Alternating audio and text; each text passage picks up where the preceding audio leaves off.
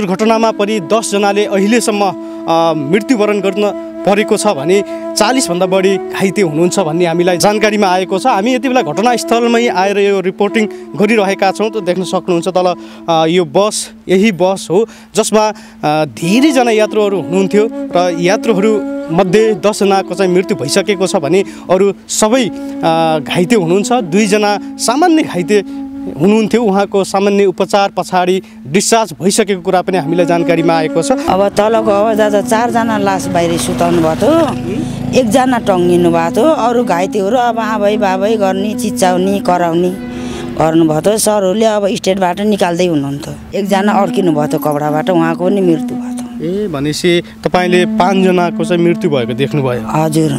तर भनाइमा दसजनाको चाहिँ यहाँ घटनास्थलमै मृत्यु भएको भनिएको छ नि। हजुर त्यो भनेको अब चारजना लासभरि निकाल्नु भएको थियो अरूभरि गाडीमा चाहिँ हुनुहुन्थ्यो।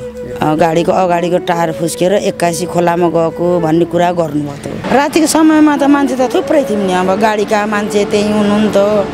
अनि सशस्त्र पुलिसहरू यहीँ आउनुभएको थियो हामी चार पाँचजना हामी यहाँ थियौँ। देख्न सक्नुहुन्छ गाडीका सामानहरू चामलहरू पनि हामी देख्न सक्छौँ पुरै छरपष्ट रूपमा छ।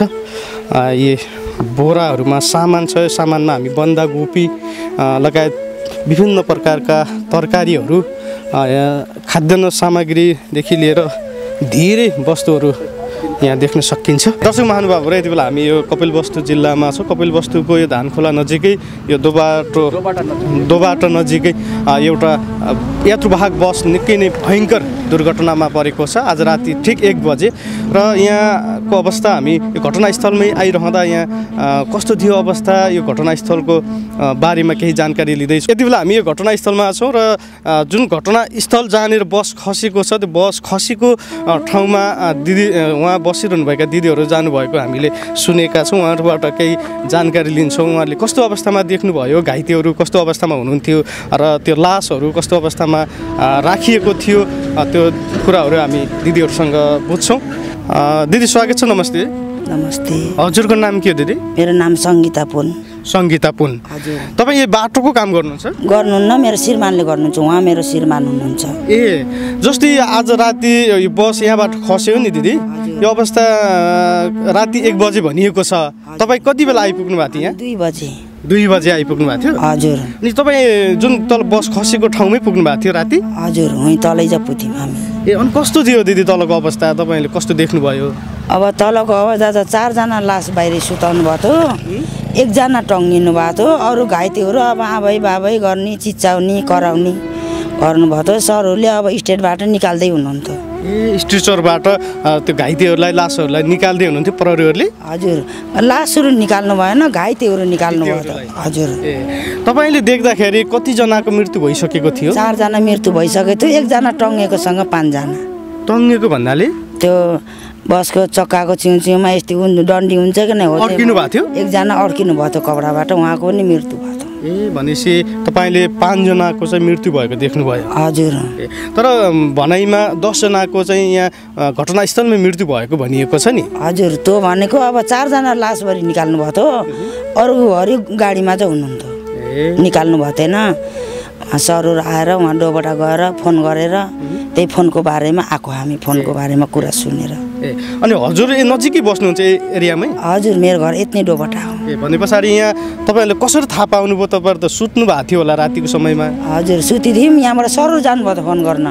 यहाँ टावर दिन्न उहाँ फोन गर्न जानुभयो त उहाँहरूको फोनको कुराबाट आएको हामी।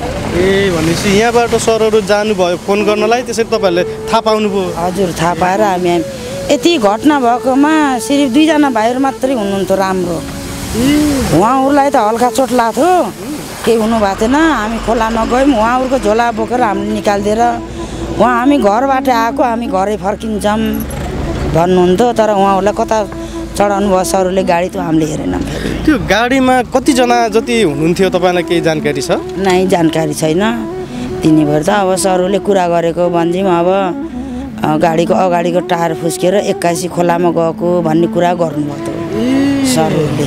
त्यही त। त्यो अगाडिको टायर निस्कियो अनि त्यो अनकन्ट्रोल भएर तल खस्यो। हजुर। त्यही सुन्नुभयो। अँ, हजुर त्यही कुरा गर्नु यहाँ राति कति मान्छेको कतिजनाको जति भनौँ न तपाईँको अनुमानमा कतिजना जति मान्छेहरू यहाँ जम्मा भएको थियो होला रातिको समयमा? रातिको समयमा त मान्छे त थुप्रै थियौँ नि। अब गाडीका मान्छे त्यहीँ हुनुहुन्थ्यो। अनि सशस्त्र पुलिसहरू यहीँ आउनुभयो त हामी चार पाँचजना हामी यहाँ थियौँ। जति धेरै थिए हजुर। त्यो गाडी कहाँबाट आएको तपाईँलाई थाहा छ? थाहा भएन सर मलाई। थाहा भएन। सुन्नुमा आए अनुसार चाहिँ महेन्द्रनगरबाट काठमाडौँ जाँदै गरेको भनिएको छ। हजुर। केही सुन्नुभयो तपाईँहरूले? त्यो पनि हामीले सुनेनौँ अब। अहिले हजुरहरूले भन्दा सुन्ने अब सरहरूसँग कहाँ जाने गाडी हो के हो भन्ने सोधबुझ गर्ने कुरो भएन। हामी अब तल झरेपछि सरहरूले अब त्यो घटना भएको छेउछाउ जान दिनुभएको थिएन। अनि त्यही गर्दाखेरि अब टाढा टाढाबाट हेर्दा कहाँबाट आएको के गरेको भन्ने कुरो जानकारी भएन हजुर हामीलाई।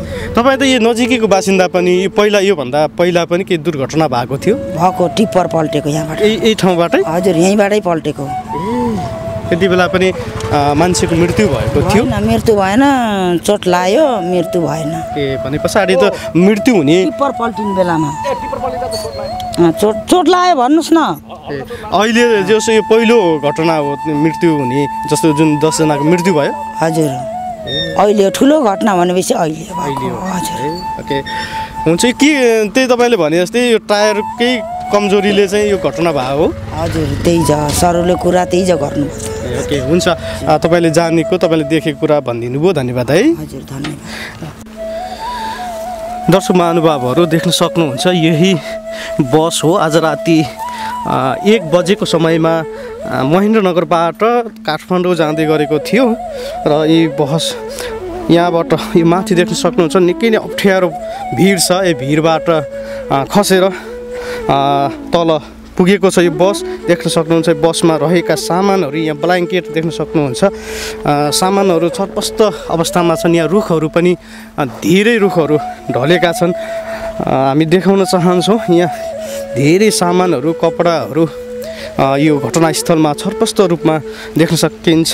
हामी यो बस भएकै स्थानमा हामी जाँदैछौँ। निकै नै अप्ठ्यारो छ। हामी त्यो अवस्था अप्ठ्यारो भए तापनि हामी जहाँनिर बस खसेको छ त्यो बस भएकै ठाउँमा हामी पुग्दैछौँ। भिडियोलाई धेरैभन्दा धेरै सेयर गर्नुहोला र धेरैजनालाई यो भिडियो देखाउनु होला यहाँ देख्न सकिन्छ। निकै नै अप्ठ्यारो छ। माथि मान्छेहरू पनि हामी देख्न सक्छौँ?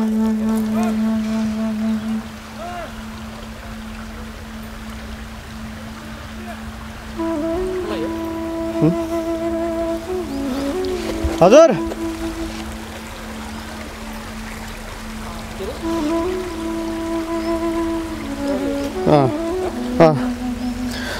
यहाँ यो सामानहरू यो बस यहाँ देख्न सक्नुहुन्छ।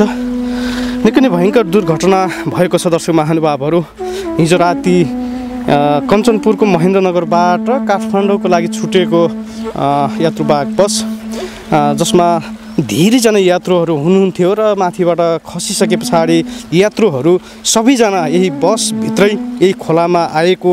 यहाँका बासिन्दाहरूले स्थानीय दर्शीहरूले प्रत्यक्षदर्शीहरूले जानकारी दिनुभएको छ र घटनास्थलमै दसजनाको मृत्यु भइसकेको कुरा पनि यहाँ हामीले जानकारी पाएका छौँ। देख्न सकिन्छ यहाँ सामानहरू यो गाडीभित्र रहेका सामानहरू सर्पष्ट रूपमा छरिएका छन्। यहाँबाट यो अप्ठ्यारो भिडबाट झरेको थियो। निकै नै कहाली लाग्दो घटना आजभन्दा करिब एक महिना पनि पुगेको छैन होला। यही नजिकै भालुबाङमा पनि झन्डै योभन्दा पनि डेन्जर दुर्घटना भएको थियो र जसमा बाह्रजनाले ज्यान गुमाउनु परेको थियो भने यो घटनामा दसजनाले अहिलेसम्म दसजनाले घटनास्थलमै मृत्यु वरण गर्न परेको छ भने धेरैजना घाइते हुनुहुन्छ भन्ने कुरा हामीले सुनेका छौँ।